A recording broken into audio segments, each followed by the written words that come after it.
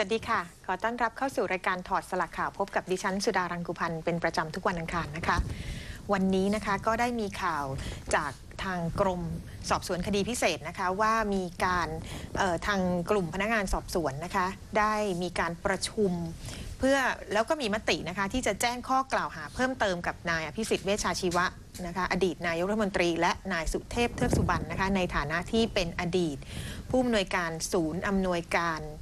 แก้ไขสถานการณ์ฉุกเฉิน หรือสอชนะคะ โดยที่จะมีการแจ้งข้อกล่าวหาเป็นสองส่วนก็คือ ฐานก่อให้ผู้อื่นฆ่าคนตายโดยเจตนาเล็งเห็นผล จากกรณีที่มีการเสียชีวิตนะคะของเด็กชายคุณากรศรีสุวรรณและฐานพยายามฆ่านายสสมรไหมทองนะคะซึ่งเป็นคนขับรถตู้ที่ได้รับบาดเจ็บสาหัสนะคะ จากการที่มีการยิงใส่รถตู้ย่านราชประรบทั้งสองเหตุการณ์นี้ก็คือเหตุการณ์ที่มีการ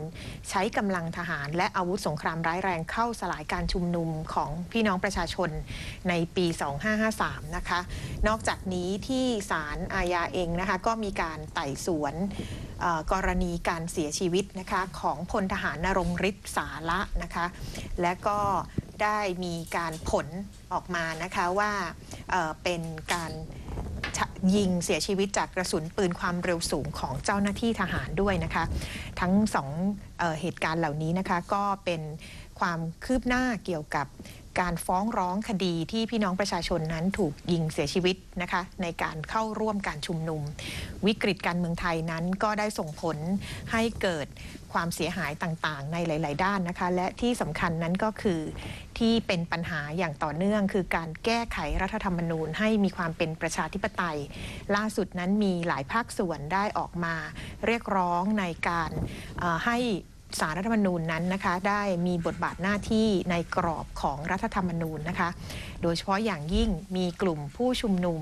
ไปชุมนุมอยู่ที่หน้าศารรัฐธรรมนูญ เพื่อเรียกร้องให้ตุลาการสารรัฐธรรมนูญนั้นลาออกจากตำแหน่งนะคะ ถือว่าเป็นปรากฏการณ์ที่น่าสนใจเป็นอย่างยิ่งวันนี้ถอดสลักข่าวก็จะได้มาพูดคุยในประเด็นนี้นะคะ โดยเราได้เชิญทางแกนนำนะคะหนึ่งในแกนนำของผู้ชุมนุมมาพูดคุยกับเราในวันนี้ เดี๋ยวพักสักครู่แล้วกลับมาพบกับถอดสลักข่าวในช่วงที่สองค่ะ สนุนรายการโดย ปตทพลังที่ยั่งยืน และ w w w b a n g k o k v o i c e c o m ค่ะกลับมาพบกับถอดสลักข่าวในช่วงที่ 2 นะคะ วันนี้นะคะ ก็เป็นเกียรติอย่างยิ่งนะคะ ที่เราจะได้มาพูดคุยกับรองประธาน กวปนะคะ หรือกลุ่มสื่อวิทยุประชาชนเพื่อประชาธิปไตยนะคะ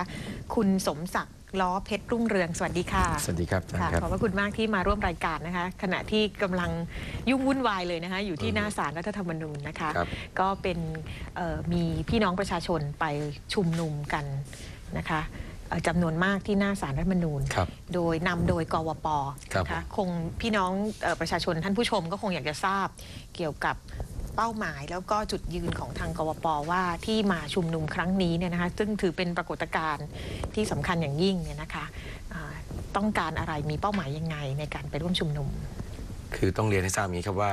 เอ่อเราเป็นภาควิทยุประชาชนนะครับนะแล้วก็รวมตัวกันมา ตลอดเวลาเนี่ยหลังจากเอ่อ การรัฐประหาร 19 กันยา 2549 เนี่ยทำให้เกิดกลุ่มวิทยุชุมชนขึ้นนะแล้วก็กลุ่มวิทยุชุมชนกลุ่มเนี้ยเป็นกลุ่มที่สะท้อนความรู้สึกของพี่น้องประชาชนค่ะวันนี้เราได้เห็นนะฮะว่าปรากฏการณ์ต่างๆที่เกิดขึ้นน่ะมันมีผลผูกพันต่อชีวิตของพี่น้องประชาชนอืมใครบอกว่าการเมืองเนี่ยไม่เกี่ยวกับชีวิตเราเนี่ยไม่ใช่แล้วครับค่ะเพราะการเมืองเนี่ยสามารถที่จะเอ่อเปลี่ยนแปลงชีวิตเราให้ดีขึ้นหรือแย่ลงได้ค่ะนะครับ ดังนั้นกลุ่มสื่อวิทยุประชาชนเนี่ยเรามีเป้าหมายที่ชัดเจนว่า วันนี้เราไม่ต้องการการกล่าวอ้างครับ เราต้องการความจริงค่ะนะฮะค่ะ ก็จุดยืนของกวปที่ไปเรียกร้องตอนนี้ก็คือมีข้อเรียกร้องก็คือต้องการให้ครับตุลาการสารรัฐธรรมนูญลาออกลาออกครับอืมนะฮะ เหตุผลค่ะ เหตุผลก็คือว่าหนึ่งเลยครับที่ไปที่มานะครับค่ะของเออบรรดาเอ่อ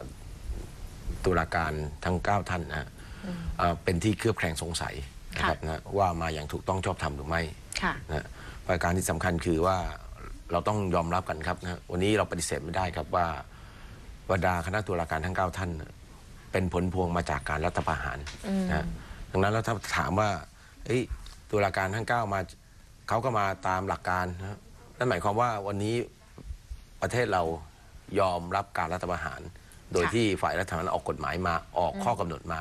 แล้วให้ประชาชนยอมรับนะ ค่ะ มันเป็นผมว่านี่มันไม่ใช่การปกครองในระบอบประชาธิปไตย อืมนะคะ ในกลุ่มของตุลาการสารรัฐธรรมนูญชุดนี้เนี่ย อืมก็มีบางท่านที่อยู่ในสภาร่างรัฐธรรมนูญถูกครับ ก็คือเป็นผู้ร่างรัฐธรรมนูญฉบับนี้เองก็นี่แหละ ต้องเรียนท่านด้วยความเคารพว่าท่านจรันนะฮะค่ะ ท่านก็เป็นเอ่อผู้เป็นผู้ร่างรัฐธรรมนูญฉบับนี้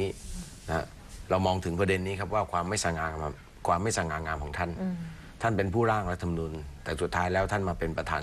ตุลาการศาลรัฐธรรมนูญ อืมแต่ อันนี้ถือว่าเป็นเรื่องที่ไม่สง่างามเลยค่ะ อันนั้นก็คือประเด็นของที่มา ครับผม ที่มันพัวพันกันทั้งสองฮะ องค์กร แต่ว่าที่อีกประเด็นหนึ่งก็คือจากการทำงานมาตลอด ระยะเวลานับตั้งแต่มีการ เอ่อมีรัฐธรรมนูญฉบับ 2550 นี่ก็คือปีที่6อะนะคะครับผม นะคะปัญหาของการที่พี่น้องประชาชนต้องการที่จะแก้ไขรัฐธรรมนูญนี่ดูเหมือนว่าเราพูดเรื่องแก้ไขรัฐธรรมนูญนี่มาหลายปีมากเลยนะคะ ผมผมตั้งข้อสังเกตอย่างนี้ครับว่าไม่ทุกสำคเร็จรั้งเลยนะฮะอืมที่เอ่อฟเอ่อรัฐบาลที่มาจากการเลือกตั้งเนี่ยค่ะ พยายามที่จะแตะต้องหรือมีการแก้ไขรัฐธรรมนูญมันจะมีปัญหาตลอดเวลา อืม อันนี้เป็นประเด็นที่เราให้ความสนใจมากนะค่ะว่าเพราะอะไรฮะค่ะ แล้วจากการที่ก่อนเราให้ความสนใจแล้วก็มีการแสดงความคิดเห็นกัน ในหมู่พี่น้องประชาชน คือเสน่ห์ของวิทยุชุมชนอย่างหนึ่งก็คือว่าการที่เปิดโอกาสค่ะ ให้ประชาชนเนี่ยโทรเข้ามาฮะ ค่ะ แลกเปลี่ยนความคิดเห็นกันแสดงความคิดเห็นกันนะครับ อันนี้คือสิ่งที่เราเนี่ยได้รู้สะท้อนถึงความรู้สึกของพี่น้องประชาชนค่ะ นะแล้วส่วนใหญ่คือประชาชนเขามองยังไงคะ เขามองว่ารัฐธรรมนูญฉบับนี้มีปัญหาครับอืมนะฮะค่ะหลายมาตราเนี่ยดูเหมือนเป็นประชาธิปไตย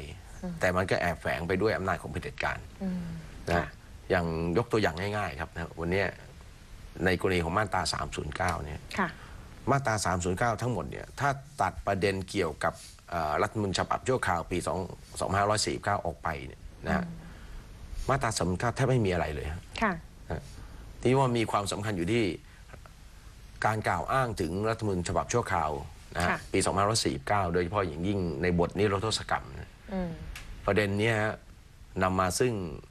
ผมว่าเป็นประเด็นปัญหาของบ้านเมืองเราเลย ค่ะคือ นิรโทษกรรมให้กับใคร นะฮะถูกครับนะฮะค่ะ เขาออกกฎหมายนิรโทษกรรมเนี่ยอดีตเราเคยเห็นนะฮะว่ามีการปฏิวัติหรือการยึดอำนาจเนี่ยค่ะ อ่าบรรดาคณะผู้ทำการปฏิวัติหรือยึดอำนาจเนี่ยก็จะออกกฎหมายให้กับตัวเองให้พ้นผิดนะฮะ อืม แต่ไม่เคยพูดถึงอนาคตนะฮะค่ะ แต่กฎหมายรัฐธรรมนูญมาตรา 3.9 เนี่ยพูดถึงอนาคตได้ อืม นั่นเหมือนกับเป็นการเปิดไฟเขียวครับว่าอนาคตเนี่ยต้องการที่จะยึดอำนาจหรือต้องการที่ทำอะไรที่ผิดพลาดไปก็ไม่มีความผิด ค่ะ ก็คือในมาตรา 309 นั้นได้เอ่อให้การคุ้มครอง ใช่การกระครัทำบในอดีต การกระทำของกลุ่มปัจจุคบันณะยึดอำนาจและก็ในปัจจุบันอนาคตและอนาคตด้วยถูกฮะนะคะอันนี้ ซึ่งตรงนี้ก็